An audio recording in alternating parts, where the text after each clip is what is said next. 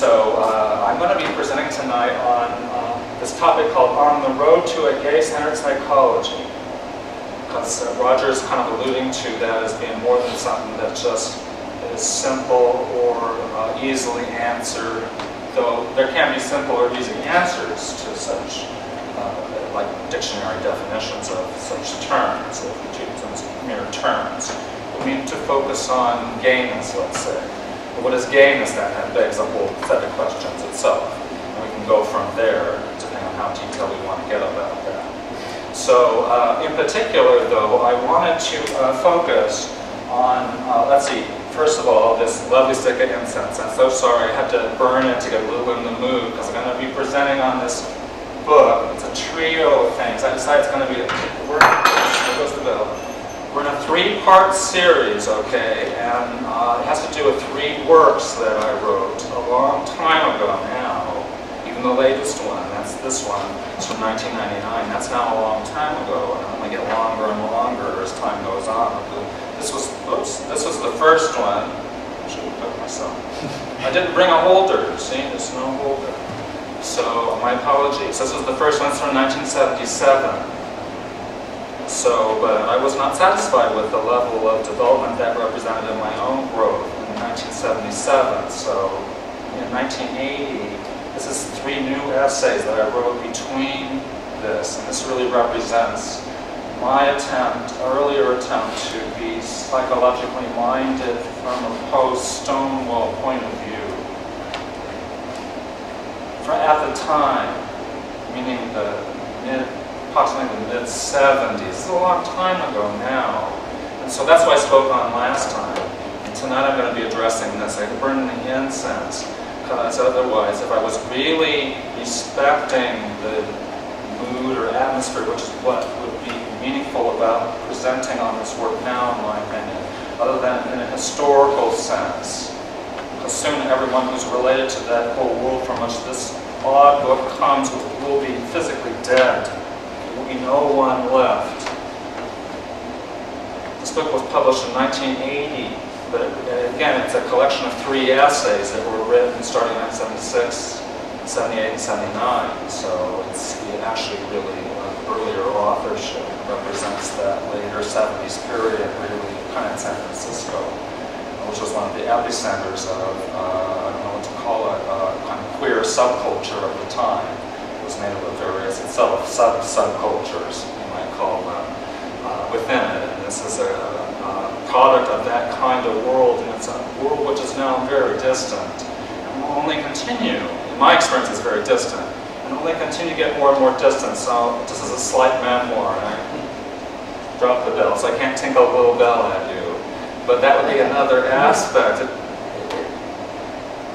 what it represents is a, a kind of um, wish to be in a time and space that is not controlled by uh, the, those who covertly exert power socially in a way that defines time and space, not to anyone's advantage except the rulers. Burn incense is, has that kind of political meaning, it that kind of political meaning, not really to, to, to change the smell in the room. it has religious meanings or spiritual meanings as well. Those are other kinds of meanings, but I mean it specifically in political sense. It's something to do with. So when, when one smells a smell, one is reminded of that one has the right to choose to work, at least work at creating another space and time than the one that the rulers would choose for one. Or uh, from the viewpoint of one is just a slave of that rulership the, the life we're born into, which is pretty much set up for us.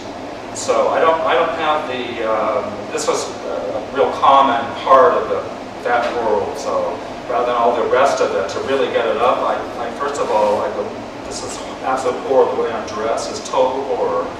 So I'd never be dressed like this. Such a betrayal of every value, almost every value.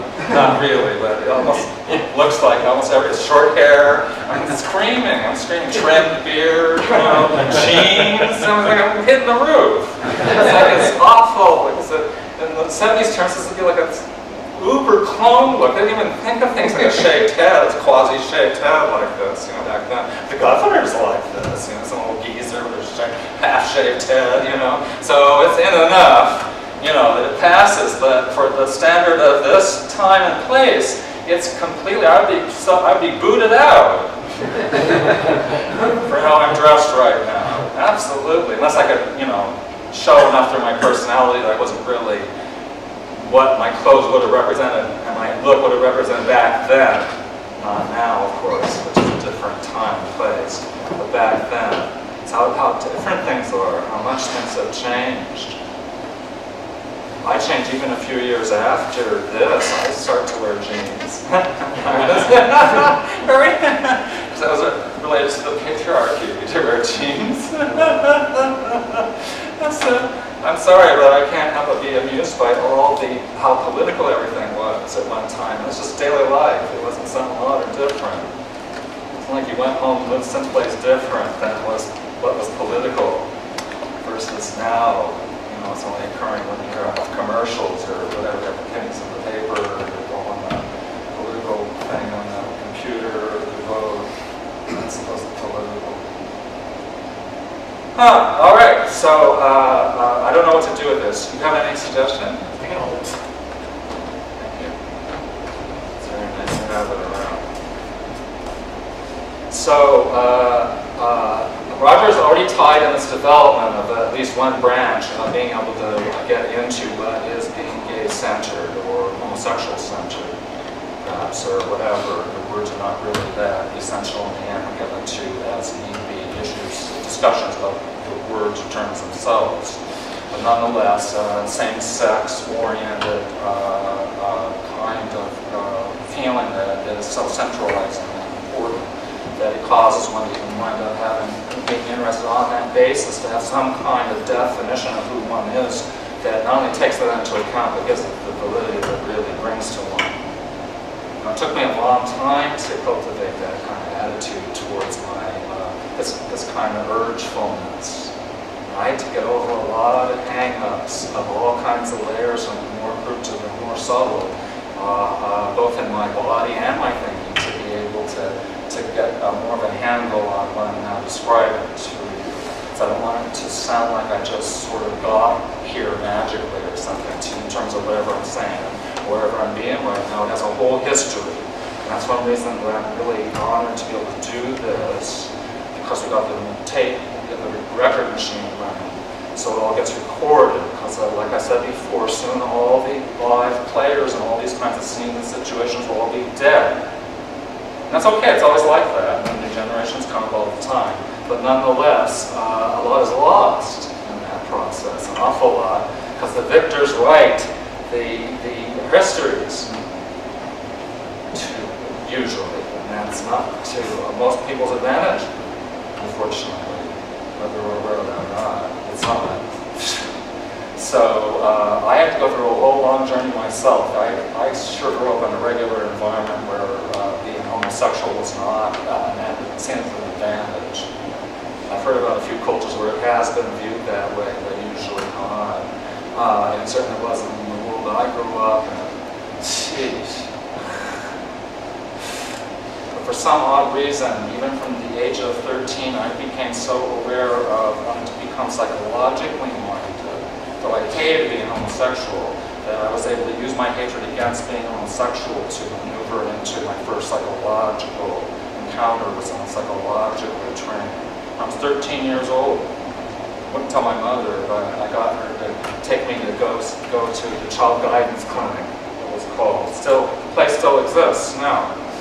Uh, and I was the first person I came out to, and I was uh, using, I was using having this hangout to uh, uh, uh, get more into understanding how, because one game, what, what might be called a psychological understanding, but that itself, that can have lots of different meanings or different things that it refers to. I'll try and get more particular about what that, I experience that as as we go along, perhaps this evening.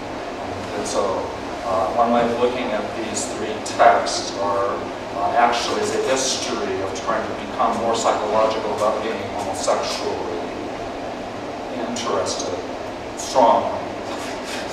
such that that's quite predominant and kind determinative, let's call it. So uh, this is my first attempt, and I'm, I'm going to talk about the second one. And I realized after I put these two together, okay, that um, it developed further and so I had to throw in this pamphlet from 1999 and a three-parter. It was going to be a two-parter, okay. Now it's become a three-parter, but not next month. We already have something for next month. And we already have something for the month after that, too. So perhaps in February, maybe, there might be the third part. So don't be shocked if you see something, third part, you know, storyline. This represents sort of developing a more gay-centered psychological attitude. Okay. So uh, I thought to contextualize uh, this evening a little more, I might actually read to you the description of the unit.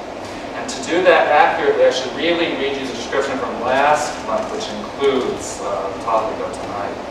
So last last month was was this one, uh, this book I talked on, and it was uh, called "The Genesis and Significance of Men Loving Men." So how did this come about? Why, what, why was it significant? This was the blurb for it. As Mitch Walker struggled in young adulthood to come out of the closet as homosexual, he also became increasingly interested in combining his longtime interest in psychology with his growing gay sensibility. And one of the first results was Men Loving Men, a gay sex guide and consciousness book, which appeared in early 1977. More than being the first full-length work published by that particular press, Gay Sunshine Books San Francisco, or merely being a gay version of then available heterosexual, quote, sex guides, unquote, parenthesis is the introduction explaining parenthesis. Men Loving Men is notable historically because of its concern with nurturing a transformative procreative possibility in terms of what would later be called quote, gay affirmative, unquote, an attitude which continued to develop more intensively in the author himself, who then produced a subsequent book, Visionary Love, which concerns a gay-centered standpoint of further appreciative refinement, which went even then further later on, okay, after that. Uh, but uh, that gives you a little bit of the context of these two items. Uh, and I went into some extent last month uh, as to the, that world. This really kind of more so represents the world of earlier, my earlier coming out and adapting in the San Francisco gay world of that time, which, because I was interested in psychology, was uh, strongly, uh, heavily uh, um, um, centered around Don Clark uh, and his associates. Uh, was the first man to declare himself to be a homosexual as a psychologist. He's the first person to officially to say I am homosexual who was already a licensed psychologist. So historically the very first person to do that. Yeah. Uh, and uh, so uh, uh, uh, I didn't know about him when he, before he, started, he did that, but I soon found out about him and begged him graduate. I couldn't help but he was so fascinating into his thinking, and I'm trying to apply it as well. I'm coming under this idea of um, uh, uh, applying humanism, basic humanistic feeling, quality, to being homosexual. That was extremely revolutionary uh, at the time, extremely. It still has a lot of oomph to it. To just such a basic tone, you know, to be to be that simple and fundamental about uh, homosexual, whatever, the same as heterosexual or whatever kind of whatever, so, uh, all uh, without um, uh, uh, favoritisms